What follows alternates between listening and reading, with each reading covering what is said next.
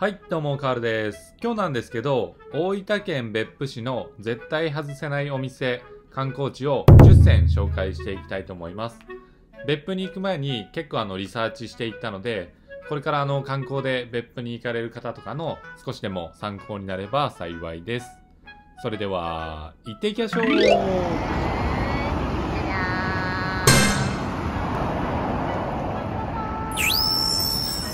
はい。ではまず一つ目は、ここの海時刻です。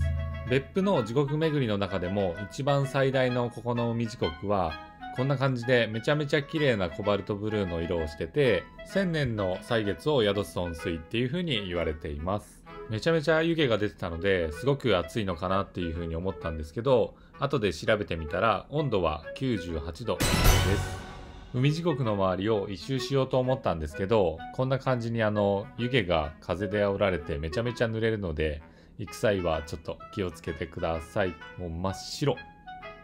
はい。では次二つ目は、こちらの亀章くるくる寿司っていう寿司屋さんです。こちらのお店はすごく行列ができるんですけど、ぜひ待ってでも行ってほしいって思うような寿司屋さんです。僕が行った時はオープン時に行ったんですけど、それでもだいたい1時間ちょっと並びました。注文方法はこんな感じでタッチパネルで押して、店員さんがあの机に持ってきてくれるような形式になってました。ここのお寿司屋さんの特徴は、こんな感じでもうネタがめちゃめちゃ大きくて美味しいんですよね。一つ一つのお寿司のネタのボリュームもすごくあるので、美味しくてすぐお腹いっぱいになってコスパもいいってめちゃめちゃ最高ですよね。あとここのお店の特徴は、あの、お味噌汁をのセルフサービスで告げるんですけど、これもめちゃめちゃ美味しくてお寿司に合うので、ぜひ、亀章くるくる寿司さん、皆さん行ってみてください。はい、では3つ目は、血の池時刻です。ほんとここの時刻は、名前の通り血のような真っ赤な時刻になってます。ここの血の池時刻は日本最古の天然時刻っていう風に言われてて、最初の海時刻はあの98度だったんですけど、海地獄よりもこの血の池地獄の方が暑いのかなって思ったんですけど78度でした。調べました。はいでは次。4つ目は地獄蒸しプリンがある岡本屋売店さんです。最初ネットで調べてる時に地獄蒸しプリンって何ぞやって思ったんですけどこの受け取ってこのテーブルに持って行ってる時のこのプルプルのプリンが可愛いんだよな。TikTok か YouTube でこの可愛いんだよなっていうのを聞いて一度やってみたかった。この地獄蒸しプリンめちゃめちゃ美味しかったんですけどさらに印象的だったのがこの奥にあるプリンソフト。これ最高に美味しかったです。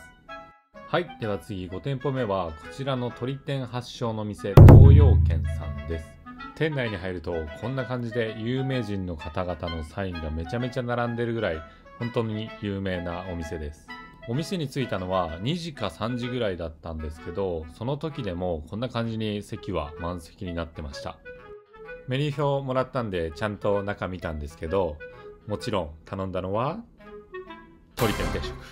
もう本当この鶏天あの言葉じゃ説明できないのでぜひ食べに行ってほしいです。ちなみにこの東洋軒さんは大正15年に創業されたお店になってて本当さすが老舗のお店っていう感じで鳥天のメニュー以外の商品もめちゃめちゃ美味しそうだったのでいつかまた別府に行った際にはこの鳥天以外の商品も注文してみたいなっていうふうに思います。6つ目はこちらの雑貨屋さんのスピカさんです。これ読み方合ってるかな？読み方間違ってたらすいません。店内すごく広くてこんな感じでいろんな種類の雑貨とか小物が並んでました。僕雑貨屋さん巡り好きなんですけどここのスピカさんのあの取り扱ってる小物とかめちゃめちゃタイプで結構長いこと滞在してました。こんな感じでお皿とかコップとかでアパレルも販売されてるのでいろんなジャンルがあるのですごく見てるだけでも楽しいお店だなっていうふうに思いました。あと今回スピカさんに行った時にサフジっていうレザーのブランドを販売されててちょっとちょうどコンパクトな財布が欲しかったので購入しました。これめちゃめちゃ可愛くないですか？またあの買ってよかったものの動画で紹介したいと思うのでよかったら見てください。はい。では次7つ目は今回あの杉の井ホテルに泊まったんですけどその際のシーダパレスっていうバイキングの場所になります。あえて杉の井ホテルじゃなくてバイキングを紹介する俺。可愛いんだよな。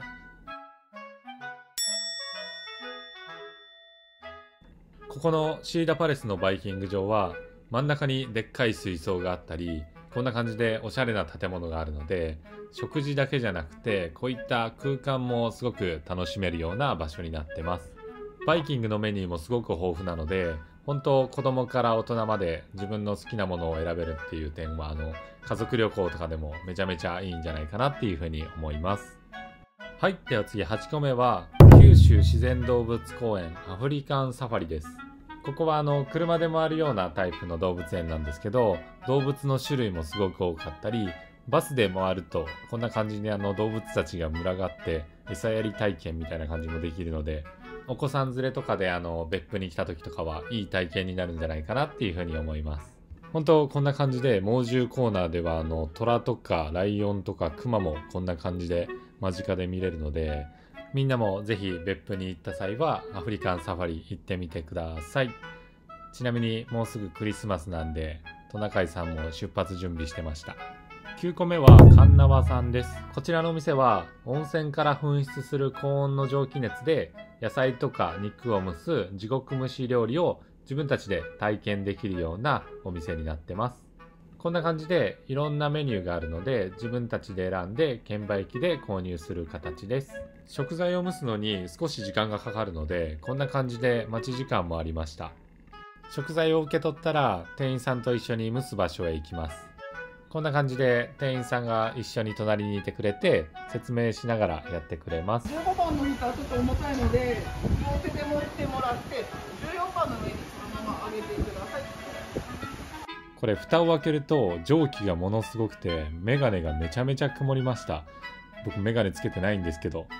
こういうとこ可愛いいんだよな。もうこれちょっとやめよう。登録者減る。でこの後15分の待ち時間があってその後蒸した食材を食べたんですけどもう本当蒸しただけなんですけど食材の旨味があの凝縮された感じでめちゃめちゃ美味しかったです。よかったら皆さんも行ってみてください。はい。では最後10個目はこちらの奄美茶屋さんです。こちらのお店は大分の郷土料理であったり手作り団子やの大福を販売されてるお店になってます。大分ならではのものを食べれるっていうことでお客さんもめちゃめちゃ多かったです。今回僕は塩豆大福っていうのを食べてみました。あともう一個あの栗の大福ですかね。こちらを注文して食べてみたんですけどやっぱいいですよね。こういう和のお店で外のこの赤いシートの椅子に座りながら食べる大福和スイーツってめちゃめちゃ渋いなって感じました。是非皆さんもあの大福であったり団子汁とか郷土料理だけじゃなくてあとかき氷やパフェもあるみたいなのでよかったら奄美茶屋さんに行ってみてください。はいということで今回は大分県別府市の絶対外せないお店観光地を紹介していきました。まだまだあの観光地とかいいお店とかはたくさんあると思うんですけど今回の僕の動画が皆さんの参考になれば幸いです。またこんな感じでいろんなお店とか紹介していきたいと思うのでよかったらチャンネル登録をお願いします。ではまた次の動画で。バイバーイ。